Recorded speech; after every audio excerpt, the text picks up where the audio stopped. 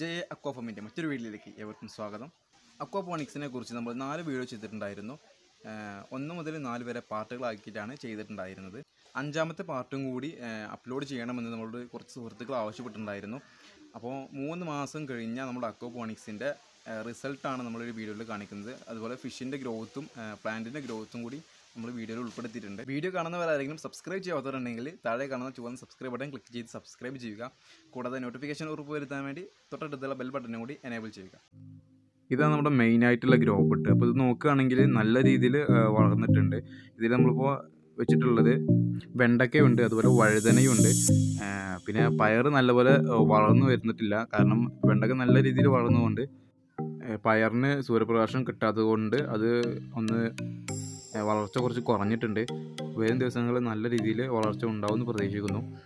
അപ്പോൾ നമുക്ക് അടിഭാഗം നോക്കുകയാണെങ്കിൽ കണ്ടില്ല നല്ല രീതിയിൽ തടിയൊക്കെ വെച്ചിട്ടുണ്ട്. അതിൽ തണ്ടൊക്കെ നല്ല വണ്ണം വെച്ചിട്ടുണ്ട് സൈസ് വെച്ചിട്ടുണ്ട്. സാധാരണ നമ്മൾ മണ്ണിൽ ചെയ്യുന്നതിനേക്കാളും കൂടുതൽ വളർച്ച ഈ ഗ്രോബോട്ടിൽ നമുക്ക് യക്കോപോണിക്സ് നമുക്ക് കിട്ടുന്നുണ്ട്.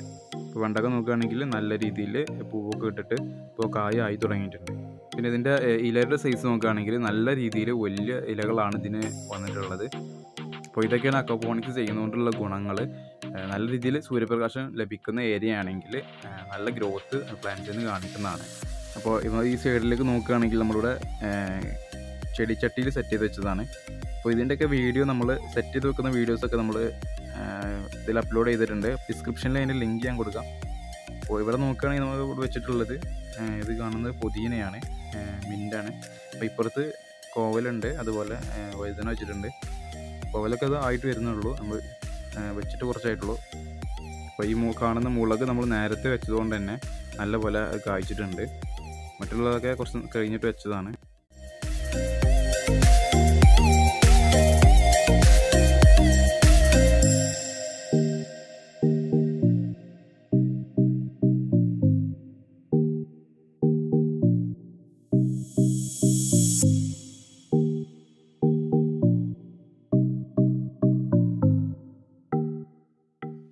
ഈ സൈഡിൽ നോക്കുകയാണെങ്കിൽ നമ്മളിവിടെ ഫിൽറ്റർ സെറ്റ് ചെയ്ത് വെച്ച് കാണാം. രണ്ട് ബക്കറ്റിലായിട്ടാണ് നമ്മൾ സെറ്റ് ചെയ്ത് വെച്ചിട്ടുണ്ടായിരുന്നത്. സെറ്റ് ചെയ്ത് വെച്ചതിന് ശേഷം നമ്മളിപ്പോൾ രണ്ട് മൂന്ന് നാല് പ്രാവശ്യം അത് ക്ലീൻ ചെയ്തിട്ടുണ്ടായിരുന്നു. ഇപ്പോൾ ഇത് നല്ല നല്ല രീതിയിൽ അഴുക്ക് വന്ന് അടിഞ്ഞിട്ടുണ്ട് ക്ലീൻ ചെയ്യാനായിട്ടുണ്ട്. അപ്പോൾ ഇത് ക്ലീൻ ചെയ്യുന്ന വീഡിയോ നമുക്ക് ചെയ്യണം എന്നുണ്ടെങ്കിൽ ആരെങ്കിലും കമന്റ് ചെയ്താൽ മതി. നമ്മളിപ്പോൾ അപ്ലോഡ് ചെയ്യുന്നതാണ്.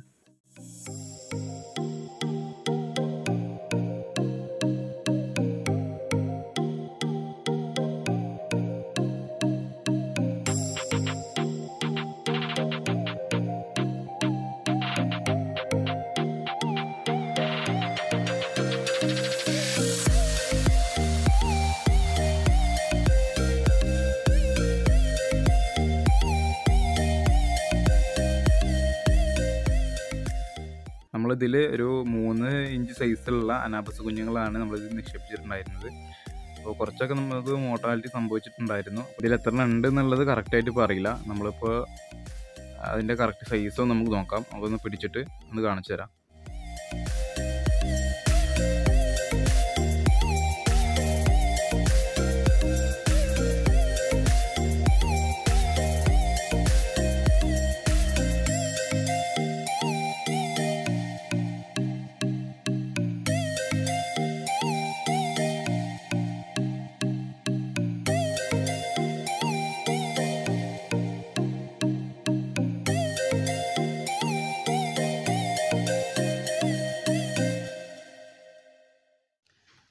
വീഡിയോ ഇഷ്ടപ്പെട്ടാൽ തീർച്ചയായിട്ടും ലൈക്ക് ചെയ്യുക ഇഷ്ടപ്പെട്ടില്ലെങ്കിൽ ഡിസ്ലൈക്ക് ചെയ്യുക എന്തെങ്കിലും സംശയങ്ങളും അഭിപ്രായങ്ങളും ഉണ്ടെങ്കിൽ താഴെ കമന്റ് ബോക്സിൽ അറിയിക്കാം.